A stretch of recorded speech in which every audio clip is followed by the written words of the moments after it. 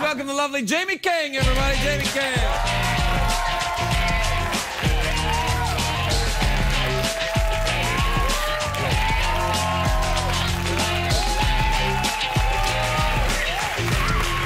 Ah, lovely to see. I see you're color blocking this evening. I am. You are so fashion chic. That was a really weird clip.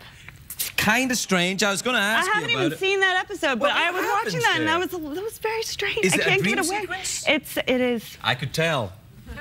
but it looked very odd. Just that It one little piece. kinda weird, and yeah. I wasn't even acting. I was just kind of standing there and smiling.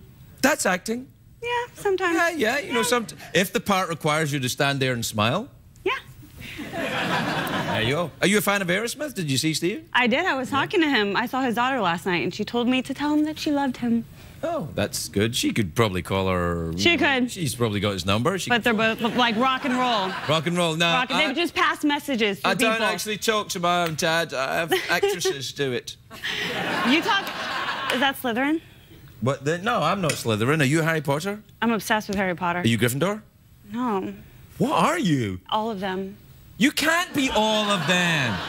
No. I love all of them. That's such a Hufflepuff thing to say. Oh my God, it is. It is. No, you're you're you've got to be Gryffindor, sh- surely. It's true. Have you It's read all the books? I have not read all the books, but I've read all of the, watched all the movies. And I made uh, Butterbeer. Not the same, Jaime. Listen to them. Okay. Audiobooks. Oh well, that's okay. Yeah. That's fine. Yeah, you still have to make up the pictures in your head. All right, I, that's fine. I, I worry because the Goblet of Fire movie. Uh, didn't have Dobby in it, and then the whole Cedric Diggory storyline, they completely mangled it. I'm like, well, this is Tutti Fruits. Good at all. We throw um, socks on our dog and we call him Dobby. You put socks on your dog and you call him Dobby? We tell him he's freed. No, you can't do that. They don't like that. If they don't like that, No, you don't. You don't. Can't free a house elf. They don't like it, don't they? I, they I, do if you're if you're yeah they do. you, s- you're like. Is, this is like talking to Hermione. Rocky Dinga. This, uh, this is ridiculous. do you know? Uh, he was here. Daniel Radcliffe was here. He Uh, was. Yeah. I saw him last night. Actually. He's where? Where? You I was I was very I was too nervous to say anything. I went like this, like as if he was gonna know me, but he doesn't know me at all. Do you ever get that with famous people? I'm like, oh Yeah. hi. Yeah, I do that. I do All that the Harry. Potter kids. Really? Yeah. Ron Weasley was here too. Oh, he's I, I met him. Oh yeah. He's awesome. He's my favorite. Oh, I think I could tell. Yeah. do you like a ginger? Is that what it is? I like red hair. I do like red hair. A lot of people do. The? Rangas. They call them the Rangas. The ringers? Rangas. Have you ever heard of that term? No. What does it mean? Have you seen Chris Lilley's show? Like Summer Heights High? I don't know what you're talking about. Okay, look it up, look it up, look it up, look it up. Uh, but oh, that's the Australian. Yeah. Uh, no. So he calls No. gingers Rangas. So it's I don't know what you're talking. it's like an orangutan. Uh, oh, oh, oh, like an orangutan. That's rude. It's mean. Yeah, that's terrible. That's why I didn't to say the whole thing But loud. orangutans are the one with the big red bottoms, aren't they? I think they are. Yeah, I, I had to do this so you know what I meant when I said. I what. see, I see. Yeah, big red bottom. Not that I've got a big red bottom. How's your bottom? Is it red? It's red right now. Is it? I feel like my face is red after talking about red bottoms Oh, and don't orangutans. worry about it. It's fine. it's all right. So, what's happening in the uh, House of Dixie then? Hart of Dixie. Hart of Dixie? Yeah, that one. What's happening uh, the, in the wedding scenario? Because that. That that that that that clip like really freaked me out. You know, I've been in Winnipeg for the past.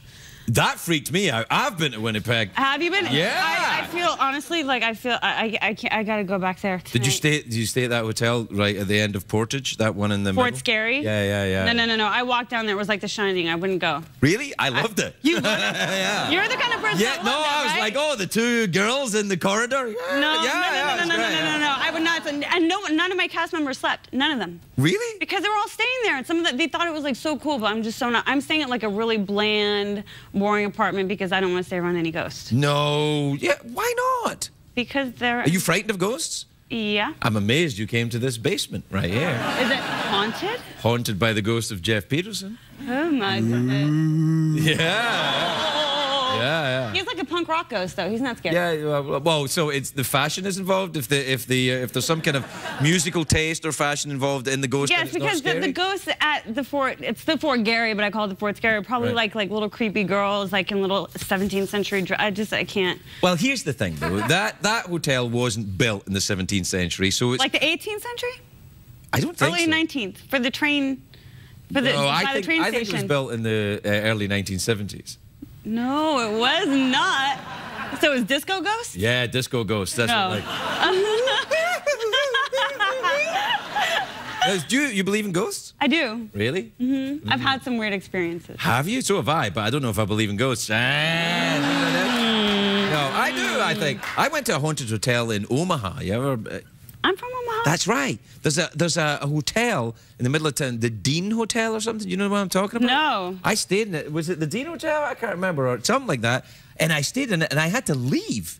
That's Like- why I didn't want to stay at that hotel. But it wasn't built in the Well, look- 1970s. well, look, I think we're talking about two different hotels. No, You're no, talking no, like this. The, the Motel 8 of like Winnipeg. No, I'm talking about the Fort Garry of Look, Winnipeg. Here's why I wasn't frightened. It was a Canadian ghost. A Canadian ghost is going to be polite. It's like, ooh, sorry. Oh, you That's want some I- maple syrup? Yeah, yeah, yeah, yeah. Canadian ghost is going to be friendly because Canadian people are friendly. They are very, they say sorry a lot. They do. And it's freezing up there, sort of like your stage. You know.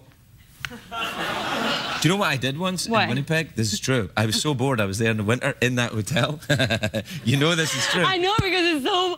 I know. I don't want to say it because I don't want to get in trouble. But Oh, I, no, no. I- I, they're lovely people. they're It's just- amazing people, but it's What's the coming go? it's really uh, it's really boring. It's it's kind of And depressing in and the cold. winter. Yeah.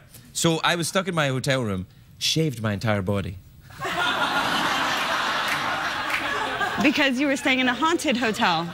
I And I bet the ghost told you, and that's why I didn't stay there. No, I, there was nothing else to do. Shaved my entire body. How was that for you? I you? looked like a giant baby. you did? Yeah. And I, and I was looking at myself How in the did your wife feel about that? Oh, we weren't married at the time. This was before I met her. She wouldn't let me shave myself now. Did you use a lot of razors to do that? I mean, did you have to trim before you? No, I'm not that hairy. I mean, your whole body is a bit. Yeah, yeah, yeah, For a but I man, mean- that's a lot of. No, no, I've hair. just got a bit here and then a bit down in the junk area. That's it. That's I, it. What do I hear here? Well, some here, but I don't have like I don't have back here. I'm not a Kardashian. Come on, I, yeah, like. Ah. All right, we're out of time. We gotta, uh, we gotta do mouth organ. I don't do mouth organ. Mouth organ, awkward pause, or big cash prize. Mm. Don't do mouth organ.